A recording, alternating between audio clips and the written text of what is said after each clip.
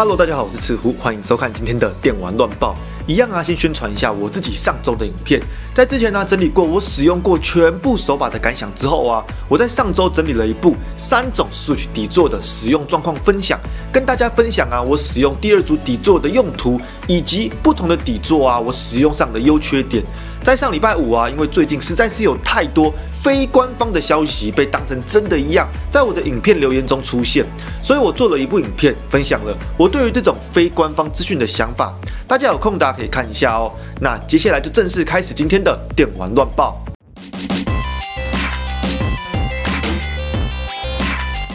首先，第一则新闻，《芬尼克斯传说》的第一个付费 DLC 推出了，《星神降临》。这个 DLC 的故事是建立在原本的剧情主线故事结束之后，玩家可以前往众神所在的地方，并且有新的试炼可以挑战。这种延续主线的方式啊，其实我是觉得很不错的哦，不影响游戏本身的主架构，却又可以体验到新的内容。目前《芬尼克斯传说》啊，预计还会有两次 DLC 推出。如果你是很喜欢这款游戏的玩家，可以考虑直接买季票，之后推出的 DLC 就直接拥有了。不过啊，我其实还没有全破啦。第二则新闻，日本的宝可梦公司宣布，将会针对在宝可梦剑盾以及 Pokemon Home 中使用改售的玩家进行处罚。所谓的改售啊，就是用非游戏中的方式直接获得想要的数值的宝可梦。目前公告的消息中是说，严重的话有可能会永久剥夺连线功能，甚至是游戏的使用权，也就是你连游戏都打不开了。我自己啊是希望游戏公司要做之前，真的要避免误抓。毕竟在现代奇迹交换这么多，要是因为收到别人的感受而被封游戏呀，那也真的太尴尬了。希望真的不要发生呐。第三则新闻，死亡细胞的 DLC 目前已经推出了，目前有公开了新的宣传影片。这次新增的两个地区和 BOSS 还可以获得新的武器，大家要买的可以考虑看看。这款游戏啊，我自己之前都还没有买下来玩过。我记得啊，我的 Xbox Game Pass 好像可以玩呐，之后去下载来玩看看。第四则新闻，《魔戒》系列的新作品《魔戒：咕噜》发售日期啊延至二零二二年推出。这款游戏是一款扮演咕噜探险的故事，以咕噜的角度啊来看魔戒中的过程，感觉啊也是会相当有趣的体验。资料上显示，这款游戏也会在 Switch 上推出。我很好奇这款游戏到时候会有怎样的游戏体验。不过在玩之前呢，我应该会去复习一下魔戒的剧情啦。第五则新闻，台湾团队开发出来的独立游戏《阿里莎》公开了首支宣传影片。这款游戏啊是一款解谜探索的游戏，目前在台北电玩展中啊有开放试玩。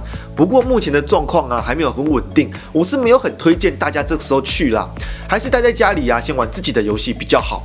这款游戏从预告中看起来，解谜的部分啊做得相当不错，感觉上啊算是需要思考并且有挑战性的。另外游戏还有支援双人游玩，有可能又会是。另外一款考验友情的游戏，不过目前呢还没有看到确切的发售日期。到时候要是没有跟大作碰在一起的话，我会买下来玩玩看。第六则新闻，在我上礼拜五的影片中有提到的，《魔物猎人 Rise》推出了 Switch 的特别版主机，另外还有额外推出特别设计的 Pro 手把。不过大家在买的时候要注意哦，不同版本里面的游戏给的方式是不一样的。日版的是附数位版的游戏，而我们正式代理进来的是实体版的游戏哦。不过在烦恼之前的前提是你要买得到啦。实际上呢，我没有打算要买，整体的设计啊，我自己觉得还好就是了啦。第七则新闻，动物声友会的更新又来了。这次新增的是即将要到来的二月十五号狂欢节，跟过去一样啊，会有相关的 NPC 在游戏中出现。另外也也会有新的装饰、新的家具等等。除此之外啊，面对即将要到来的情人节，游戏中也会有新的物品出现。以游戏整体的寿命来说，动物森友会透过每个月固定更新的方式，维持在不错的热度之下。而对于热爱的玩家来说，也一直都有新的东西可以玩。之后啊，三月还会有免费的更新哦，大家一样可以持续期待。另外，动物森友会跟三丽鸥合作的 Amiibo 卡片中文版预计将于三月二十六日推出，大家有兴趣的也可以关注一下哦。第八则新闻，二月我很期待的游戏之一，经典回归《魔界村》，最近有公开了新的资讯。这次的游戏要素啊，看起来真的还蛮多的。在单纯的二 D 横向动作上，有沿用过去的一些传统，例如全破一次之后，二周目的内容会有所改变。另外还有一些新的收集要素，让游戏整体的丰富度变高了不少。前提是啊，你要有那个技术，还可以慢慢的收集这些要素啦。魔界村呢，大家还是要知道这款游戏的难度算高的哦，这也是我到时候买了但不想直播的原因啦。但因为这次的游戏画面呢，我蛮喜欢的，又是当年的回忆，我还是很希望可以玩它。人呢，偶尔还是会有想要被虐的时候啦。第九则新闻：过去的街机游戏《太空战斗机：宇宙启示录》确定将于三月十八日推出在 Switch 上面，并且将会强化它的画质显示。这款游戏是一款二 D 飞行射击游戏。以往在我还会去游戏场的时候啊，在一些大型机台上，蛮容易看到这种类型的游戏。但其实这种游戏对我来说啊，是吃代币杀手，因为真的很容易死掉。这次推出的家用机版本啊，就可以直接买下来，不用再投代币了。这款游戏实际上啊，里面收录了两款游戏：太空战斗机 GHD 跟太空战斗机奔雷行动，另一个年代记 EX Plus。售价不会太高的话，会是一款蛮有诚意的游戏，大家也可以参考看看。第十则新闻，跟刚刚相同类型的飞行射击游戏 R-Type Final Two 确定将于四月二十九日推出。不过跟刚刚不同的地方是，这款游戏是一款全新的作品，所以很明显的在画面表现上有更好的呈现。目前展示出来游戏中的机体呀，有一些看起来也真的蛮好看的。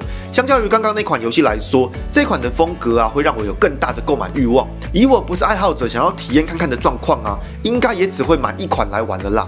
第十一则新闻，莱赛的炼金工坊二更新了免费更新，以及开放了第二弹的付费 DLC。免费更新的部分呢，包含了增加拍照功能中的相框，以及新增可以更换的 BGM。而付费的部分呢，则收录了历代人气的 BGM。不过免费的部分呢，看起来更新蛮多的，这点我倒是很意外。对于过去没有情怀的玩家来说，应该就不会想要花钱买这个 BGM 了吧？最后一则新闻。《复活邪神三》中文版确定将于二零二一年推出。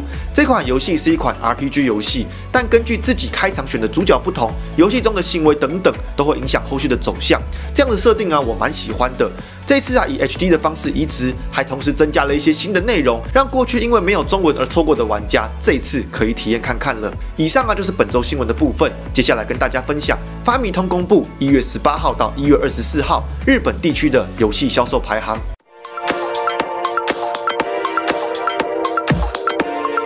第十名，Switch 平台《超级马里奥派对》卖出九千六百二十三份。第九名，Switch 平台《宝可梦剑盾》卖出八千八百四十七份。第八名，Switch 平台《七弹大作战二》卖出九千四百零七份。第七名，Switch 平台《世界游戏大全五十一》卖出一万一千四百一十份。第六名，Switch 平台《Minecraft》卖出一万一千八百七十三份。第五名，Switch 平台《任天堂明星大乱斗特别版》卖出一万三千三百一十六份。第四名，Switch 平台《马里奥赛车八豪华版》卖出一万九千两百三十九份。第三名，Switch 平台《集合啦动物森友会》卖出两万七千两百三十七份。第二名，Switch 平台《健身环大冒险》卖出三万六千四百八十九份。第一名，Switch 平台。桃太郎电铁、昭和、平成、令和也是基本款，卖出九万两千七百九十三份。以上啊就是一月十八号到一月二十四号的游戏销售排行。这周的销售排行啊，基本上就是一个名次前后互换的排行而已啦。前十名的榜单呢，依然完全没有变化。这样的结果会不会被之后的童话声明打破呢？我们下周拭目以待。那在看完销售排行之后啊，接下来跟大家分享日本任天堂公布接下来这一周日本 eShop 即将发售的游戏。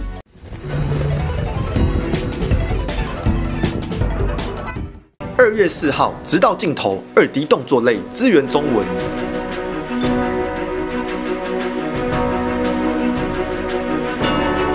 说话模拟器颜面神经失调类支援中文。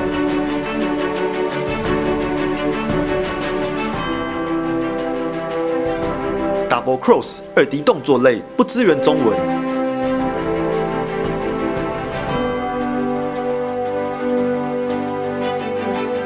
待七年后，剧情冒险类不支援中文。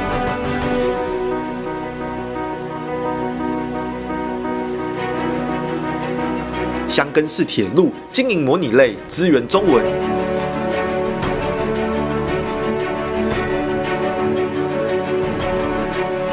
嗜血杆菌二二 D 飞行类不支援中文。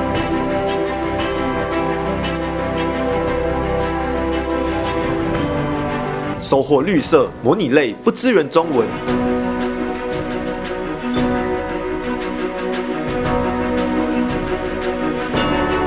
为血而战，一支类吧不支援中文。披萨酒吧大亨制作料理类支援中文。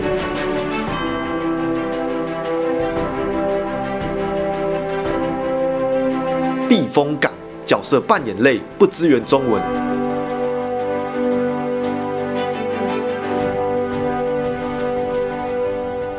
以上啊就是接下来这周即将要发售的游戏。这周的游戏啊，我目前没有想要买的。二月啊，我预计会买的游戏会在明天的游戏推荐当中整理分享给大家。大家有兴趣的，啊明天可以来看看哦。二月其实有蛮多游戏可以期待的哦。那这次的电玩乱报就到这边结束了。如果你喜欢这个系列，希望可以帮我按个喜欢，我会祝福你玩游戏都不会卡死关。那如果你喜欢我做的影片，记得下次要来看哦。我是赤狐，祝各位游戏愉快。